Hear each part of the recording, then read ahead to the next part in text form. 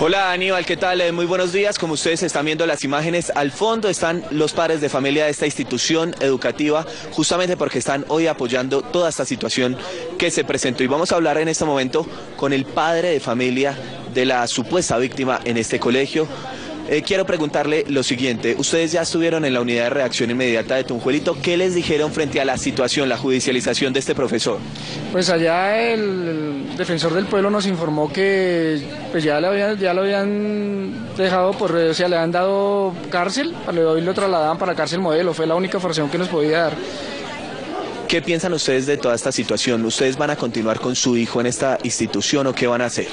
La verdad no, nosotros nos sentimos incómodos de, de dejar el niño aquí por seguridad, por todo, porque la verdad que el colegio no nos brinda ninguna garantía, no nos está brindando ninguna garantía ni le va a brindar garantía a nadie, porque ellos se han escudado en, decir que, no, que diciéndole a los niños que dejaron que pasen la página, que esto es pasajero, que esto ya pasó, que no sé qué, o sea, están esperando que le pase a otro niño. Profesores, les digo, ustedes pónganse la mano en el corazón, como le, ya a usted no les pasó, entonces está esperando que, que les pase a ustedes para que tomen reacción, para que reaccionen.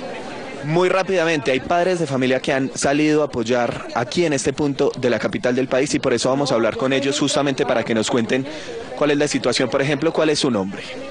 Sandra, Doña Sandra, usted me decía que se venían presentando un- otras situaciones, anomalías en este colegio. ¿De qué se trata? Pues del microtráfico entre los alumnos, pero como te decía anteriormente, eso supuestamente ya está pues amparado por el mismo colegio. O sea, lo que nosotros queremos es que eh, las directivas se pronuncien sobre este hecho, porque nadie, como tú ves, nadie da la cara, no nos citan a una reunión, no nos explican qué va a pasar con 40 por 40. Hay muchas expectativas de nosotros que no sabemos, no sabemos qué va a pasar con nuestros hijos, independientemente de todo lo que ha pasado, pues queremos es que los profesores, el cuerpo directivo, se pronuncie, nos diga algo, nos cita a una reunión de la cara de la situación que está pasando en este momento acá con nuestro niño, con nuestro compañerito. Doña Sandra habla de la jornada 40 por 40 porque recordemos que el profesor al parecer era coordinador de esa jornada. ¿Qué está pasando en este colegio? Muy buenos días. ¿Qué está pasando? Queremos que, nos, que los profesores nos den la cara, que nos digan qué fue lo que pasó en realidad, que hayan cambios de profesores, porque si es una rosca, si pasa en las grandes instituciones, ¿por qué no en esta que es chica? Que nos apoyen, que nos colaboren, que, que paró y nos ayude la ministra. Que hagan una investigación, que manden el Instituto del Bienestar Colombiano, que investiguen, que miren, porque este es un buen colegio, pero ¿qué? Los profesores tampoco están ayudando en nada, le están echando la culpa a los niños, ¿no?